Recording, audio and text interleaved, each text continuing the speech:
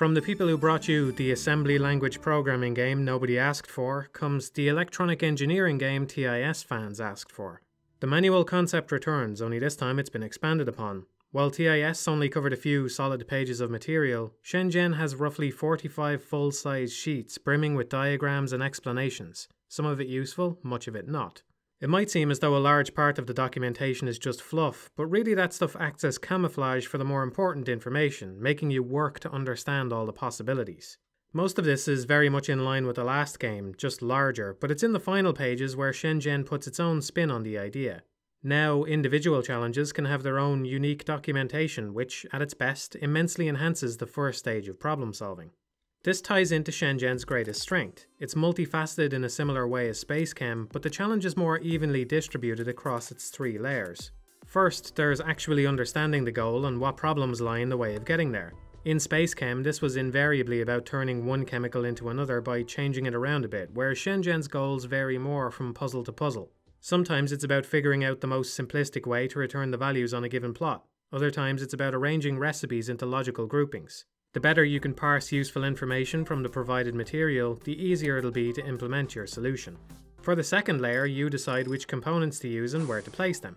In SpaceChem, this meant putting down reactors, which were the same size and mostly functioned similarly. In Shenzhen, there's a wider array of parts, each with unique pros and cons, connected by more versatile wiring arrangements. Lastly, there's the manipulation of the inputs and outputs. This is where most of SpaceChem's complexity arose, and in this aspect it eclipses Shenzhen. Waldos can perform a huge number of varied tasks with plenty of tricks to discover, but the assembly of Shenzhen is no slouch either. Predication provides room for interesting challenges and optimizations.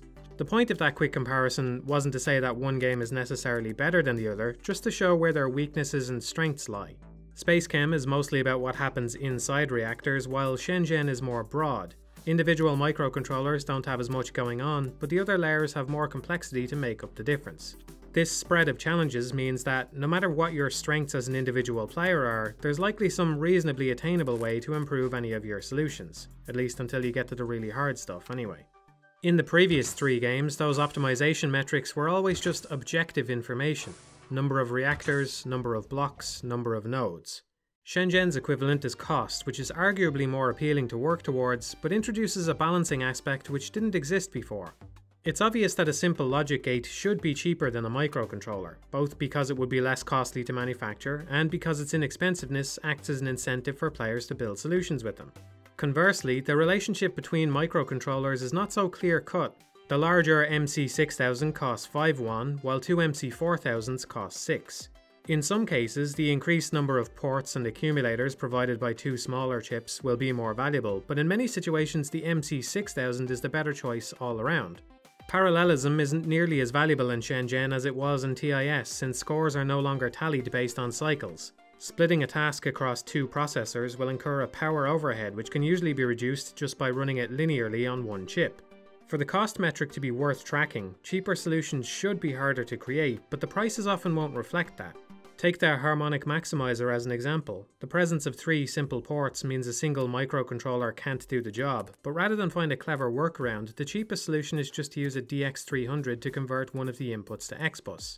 You would think using a component with three connectors just to move a single value would be cost inefficient, but in this case it's actually the best choice. It's impossible to provide an objective price list which would perfectly balance the difficulty for all components across all puzzles, but therein lies the problem. Despite these concerns, it could be said that the arbitrary values of Shenzhen are, in a sense, no different than the previous games. Block count is an objective number, but in some situations, even without the use of giant rotating arms, rotators would be more efficient for movement than conveyors. Even though they both count as one, their practical value changes on a puzzle by puzzle basis.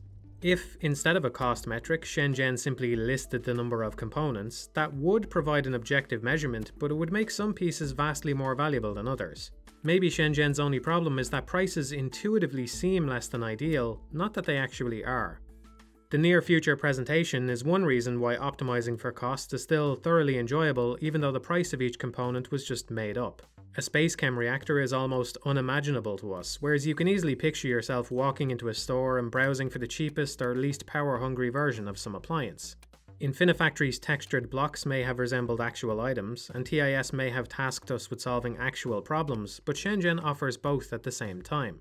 Not only do you get the satisfaction of creating a product with at least a veneer of real world application, you even sometimes get to watch a custom visualization of it in action.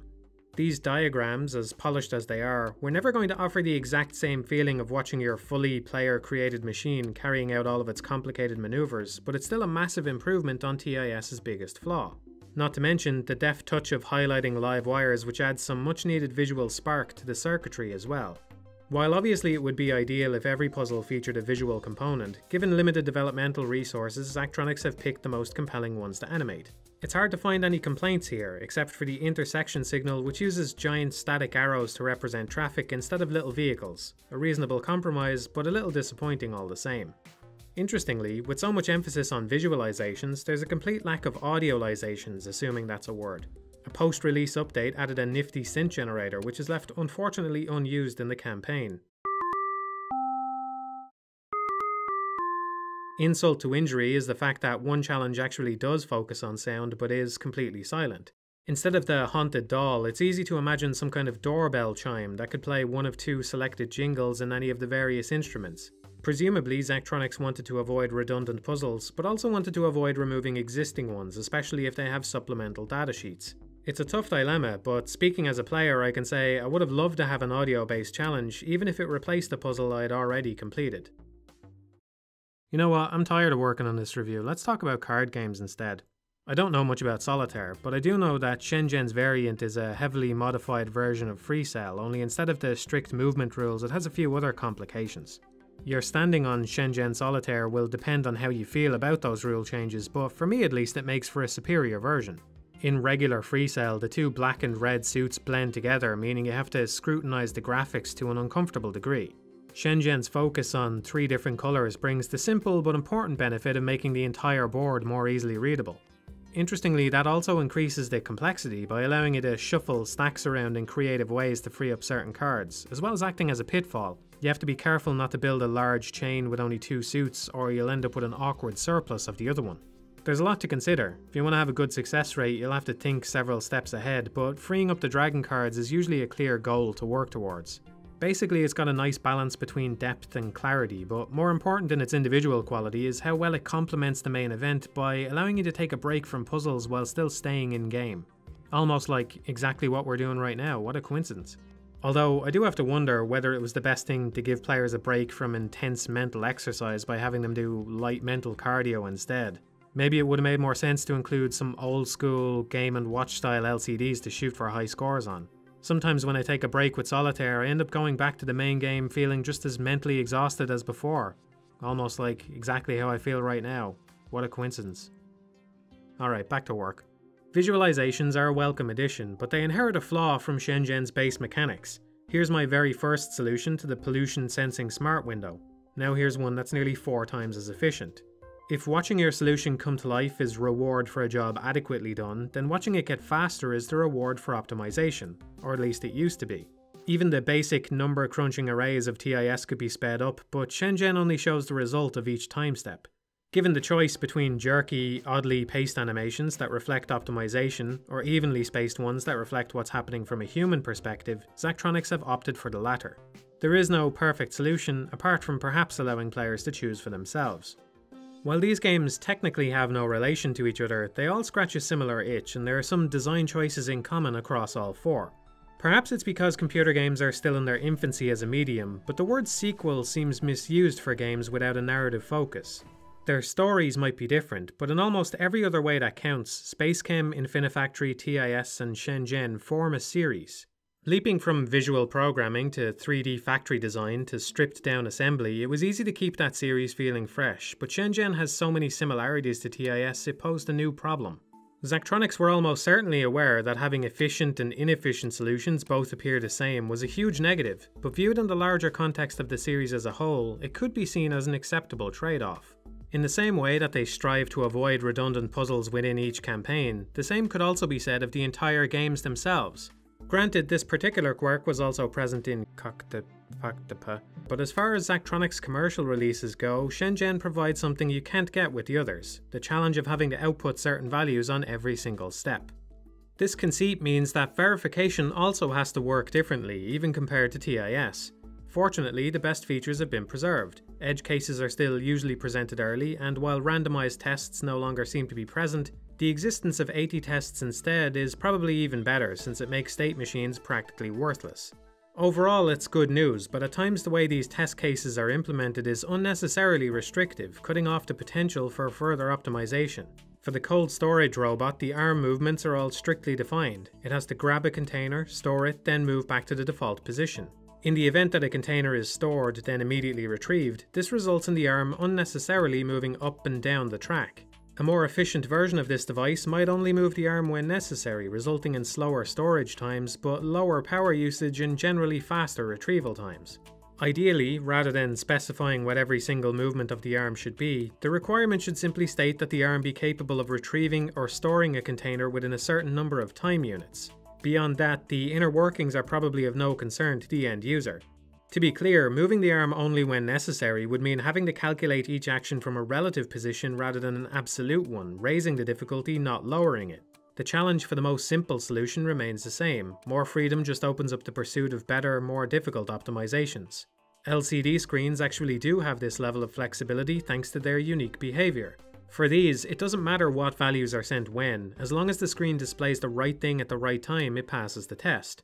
Ideally, most puzzles would have maximised the player's freedom to optimise while preserving the base difficulty they have now. I include this criticism with a healthy dose of trepidation, as there's a chance some smartass will figure out an easy way to destroy the puzzle under my conditions. This fear is probably present for Zachtronics as well. It would be ludicrous to expect them to know the exact possibility space for every challenge, which is probably why this issue exists in the first place. I suppose we can chalk this one up as a pitfall of making games that tempt engineers to break them as hard as possible. So far, the running theme for this review has been flaws that are easily excused if you view them a certain way, but that doesn't mean Shenzhen is exempt from any real issues. After the complete non-linearity of TIS, the return to a somewhat more linear style can be especially frustrating. Since the main campaign culminates with an important project from Sun Haoshan, the earlier Sun Haoshan projects all act as bottlenecks, ensuring the player has proved themselves beforehand. It would be fair to say that the game benefits greatly from the increased narrative context provided by the email chains attached to every single puzzle. Not only do they give a greater understanding of what each product is supposed to be, but they're often just entertaining in and of themselves. This approach is almost identical to the bonus campaign of Infinifactory, but additional entertaining dialogue is withheld until right after puzzle completion, turning it into an incentive. As if engaging puzzles, satisfying visual feedback, competitive histograms, leaderboards, and narrative progress weren't enough of a driving force, now you're guaranteed some amusing dialogue as a reward as well.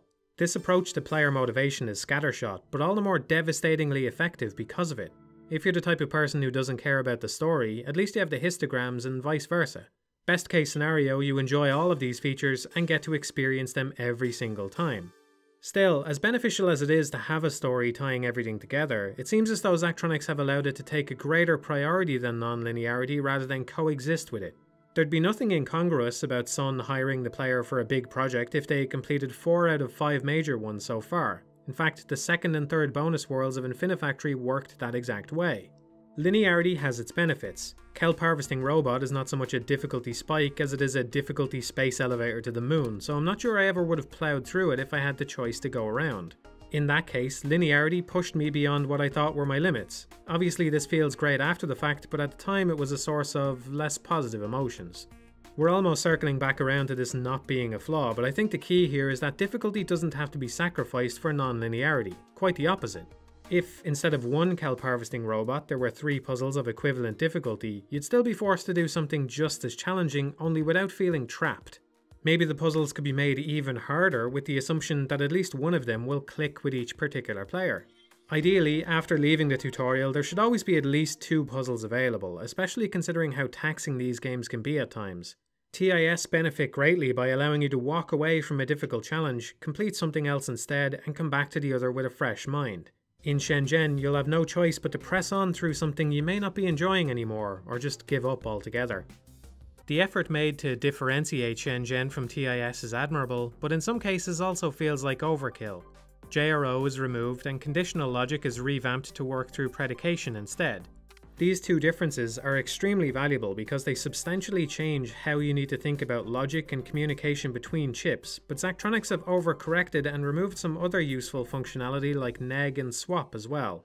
As I mentioned in the TIS video, programming under these unique constraints is the whole point, but sometimes Shenzhen suffers from a frustrating sense that the rules have been designed solely to make your life as difficult as possible. Dumping the data packet concept and the SLX command on the player at the same time could easily prove overwhelming, so the non-blocking XBus port represents a good compromise. There are some limited situations where a non-blocking input makes sense, but it's way overutilized in later puzzles, adding a minor hassle which is solved the exact same way every time. Move the value into the accumulator before testing it in case it's not minus 999, then decide what to do based on the outcome of that test. If you've finished the game yourself, I don't need to tell you how repetitive that can feel. Some individual puzzles suffer from an excess of hassle as well, for the electronic practice target, the most interesting part of the challenge is figuring out how to calculate the scores, but that's just the tip of the iceberg. A large amount of difficulty arises from the way the displays need to be refreshed for every step, then flashed at the end. At times it also feels as though chips have their ports placed in the worst possible arrangement, with simple pins at the top on the right side and bottom on the left. You're also given a vertical bridge, but not a horizontal one. Again, to be clear, some level of hassle is actually desirable, but if you look at similar constraints in TIS, they're a lot more easy to accept because of the way they're presented. You might find yourself wishing that a certain node could connect directly to five others, but it's well established that four is the maximum. That's just a limitation of the architecture. Conversely, it's totally reasonable to question why a simple bridge can't just be turned the other way instead.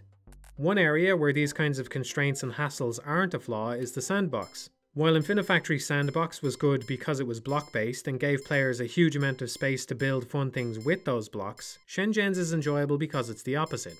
Programmers already have the near infinite space they need to make interesting things. The enjoyment of Shenzhen's sandbox is seeing what can be accomplished under the constraints it imposes. The increased space and addition of larger memory chips makes it somewhat more freeform than the main game, but it's still relatively restrictive. In this area at least it strikes a nice balance.